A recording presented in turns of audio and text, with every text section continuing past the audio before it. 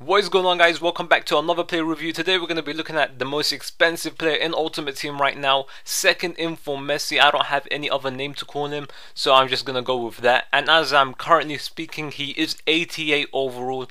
EA has decided to keep updating his overall until the end of the year. So I think he has two more games remaining. So if he scores any goals in them, the 88 overall is going to keep changing. Now, um, he was 86 yesterday, but has been now updated to 88. Now let's move on to the actual review. First up, he is really expensive on the PS3 he is going for over 4 million coins which is disgusting and um, he has 99 shot I mean, that is insane.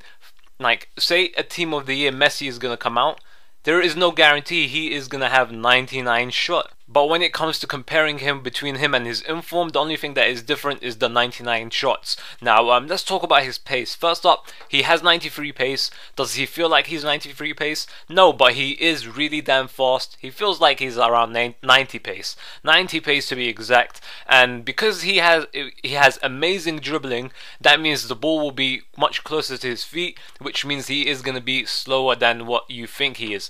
Now, people will be looking at 93 pace thinking that he's extremely fast like Neymar and stuff like that but no he isn't that fast um, I would think he is as fast as Benzema somewhere around there um, uh, like like I said, Messi. I don't even need to talk about his dribbling. His dribbling is amazing. I mean, uh, everyone would know this. It's just common sense. Amazing long shots and shot power. This is something you have to I don't know. He has the best shooting and the best long shots in the game, and this is coming from me because I love taking those long shots. And he his ones are so overpowered. Of course, they're gonna be overpowered because he has 99 shots on the card, which means. I don't know. It's like I shoot from anywhere on the pitch and it will just go in, magically go in. It, the keeper, even if he touches it, it will still go in.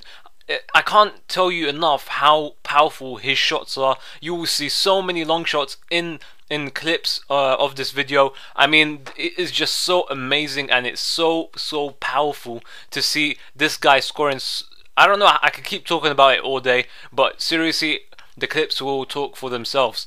Another thing that is really good about him is his balance. Even though he is a weak player, he has really good balance. So even though people will try to shove him off the ball and stuff like that, he will recover very quickly and he doesn't fall very much, which is really damn good. Another thing is that he's awesome at free kicks. Even though I didn't score any free kicks, but I was just so close to scoring some.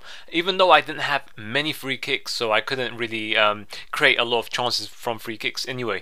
And since he has 99 finishing, he has awesome finesse shots as well. I mean, you'll see a couple of clips as well. He has just awesome and amazing finesse shots. I definitely, um, I can't really recommend you to buy him because a lot of you guys don't have 4 million just lying around. But other than that, he has 4 star skills, which is amazing as well. But then again, he has freestyle weak foot, which sometimes you can't ignore because he did manage to score with his right foot a couple of times for me. But other than that, it sometimes is really um, awkward to shoot with his right foot.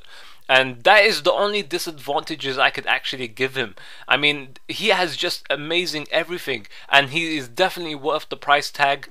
Um, in my opinion, he is the best player I have tried this year for now and he is just simply amazing. And if you have 4 million lying around, well, oh, he's over 4 million. If you have more than that lying around, I definitely recommend you should try him out. He's just an amazing player with such an overpowered shot, and it is just so fun to play with him. Hope you guys enjoyed this review. Please like it up if you found it helpful. And as usual, please let me know who you want me to review next in the comment section below. And I hope you have a very nice day.